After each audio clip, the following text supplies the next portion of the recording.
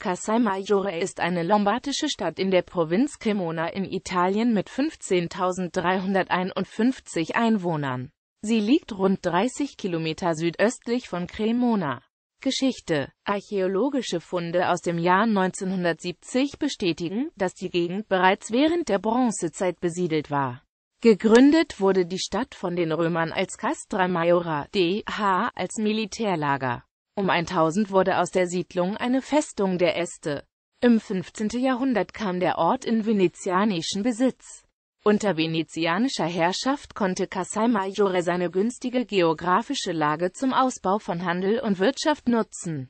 Gerade wegen seiner strategisch günstigen Lage weckte es die Begehrlichkeiten seiner Nachbarn, des Herzogtums Mailand, Mantaus sowie der französischen und spanischen Truppen während der oberitalienischen Kriege. Gegen Ende des 16. Jahrhunderts gründete man eine vorübergehende Signoria von Casal Maggiore. Unter der österreichischer Herrschaft im 18. Jahrhundert erhielt die Stadt 1754 von Maria Theresia die Stadtrechte. Nach der vorübergehenden Zugehörigkeit zu Österreich kam Casal Maggiore 1861 im Zuge des Risorgimento zum Königreich Italien. Ortsteile im Gemeindegebiet liegen neben dem Hauptort die Fraktionen Agoriolus Caminete, Capella, Casal Bellotto, Fossa Caprara, Motta San Fermo, Quattro Case, Roncadellos, Vico Bonigisio und Vico Moscano, sowie die Wohnplätze Oratorio, Sant'Uario Fontana und Strada, Persönlichkeiten.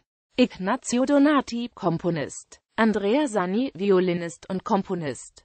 Baldassare Monti, Motorradrennfahrer.